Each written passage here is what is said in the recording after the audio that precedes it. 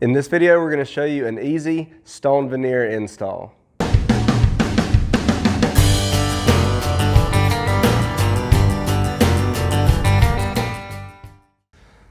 How's it going guys? Welcome back to the Patriot DIY channel.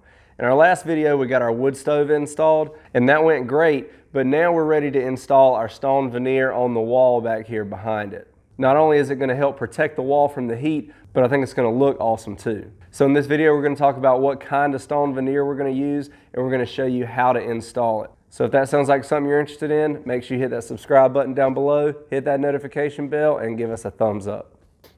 All right guys, so the stone we're gonna be using for this is from Evolve Stone, and it's actually not real stone, it's a faux stone product that actually looks very natural. As you can see, it has a lot of different colors in it. Each stone comes in different shapes and sizes.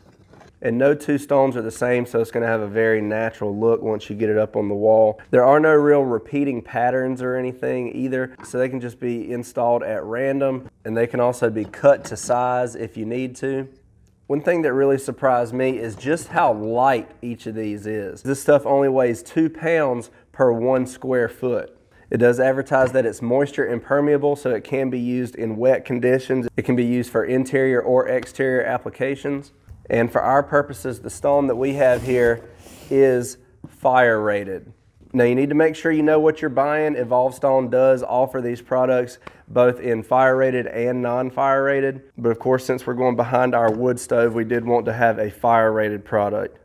Now, as you can see, these are individual stones, so you can stack them at random pretty much any way you want to do it. And they can be installed on nearly any wall surface, including wood, sheetrock. But as you can see behind us, we've already prepped our wall. And since this is gonna be behind a wood stove, we decided to put up some cement board on the wall to make it as heat resistant as possible. And I'll give you a quick recap on what that process looked like.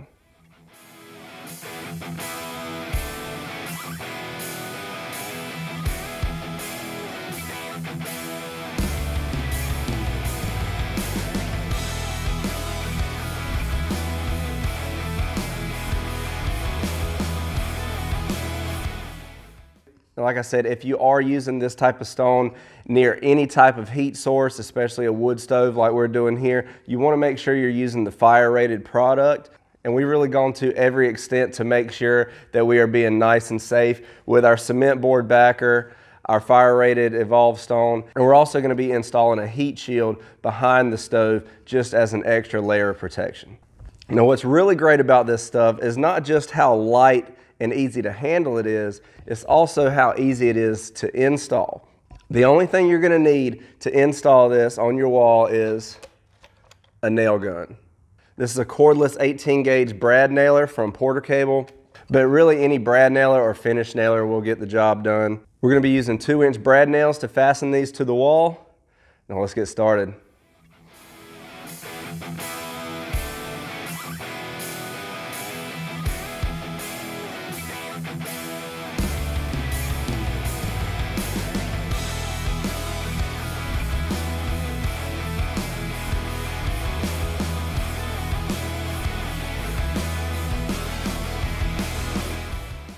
Now's a good time to go ahead and install our heat shield.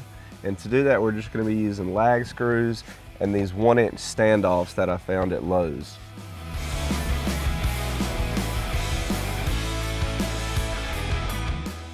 We're gonna center it on the wall and pre-drill our holes and screw it in. Now it's important that your heat shield be at least an inch from the wall. That air gap is really gonna help dissipate that heat coming off of that stove.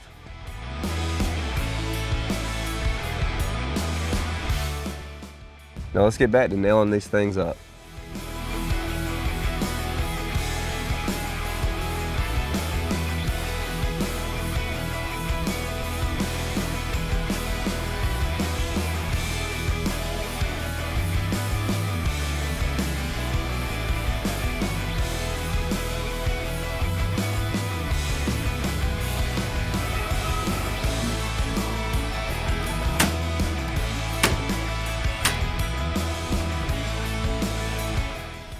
Like I said before, these can be cut to size, so when I get to the end, I'm just gonna mark the amount that needs to be cut off. And one great thing about these blocks is they can be cut using your normal woodworking tools.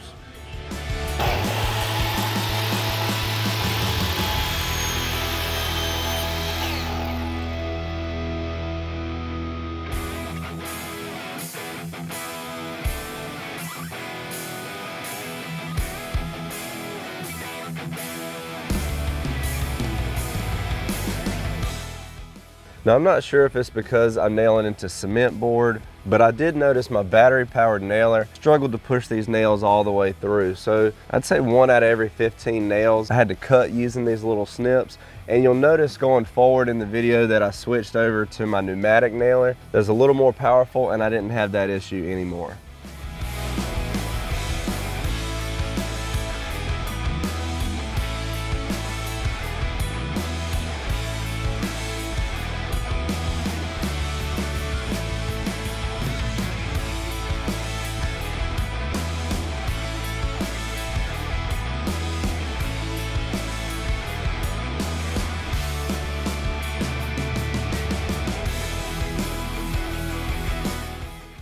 It may be a good idea to try to lay these out and come up with a plan for how you're going to install them. But keep in mind, this doesn't have to be perfect. If you end up with gaps or irregular sizes, that's not a big deal. These are super easy to cut. And by the time it's all up, you're not going to notice small imperfections.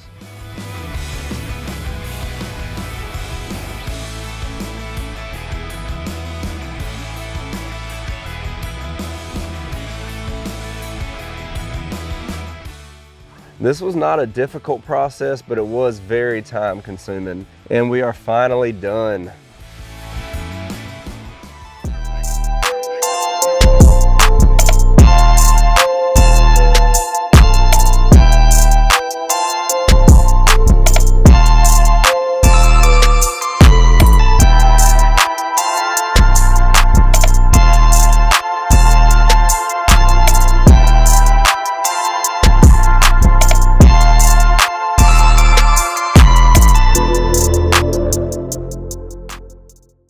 All right, that is it for our stone veneer and our wood stove. I hope you like this series, guys. It was a lot of fun and actually not too difficult to do. Don't forget, guys, we're going to have links to all this stuff in the description below. And if you have any questions or anything, make sure you let us know in the comments. Thanks for watching, guys. Please like, share, and subscribe, and we'll see you next time.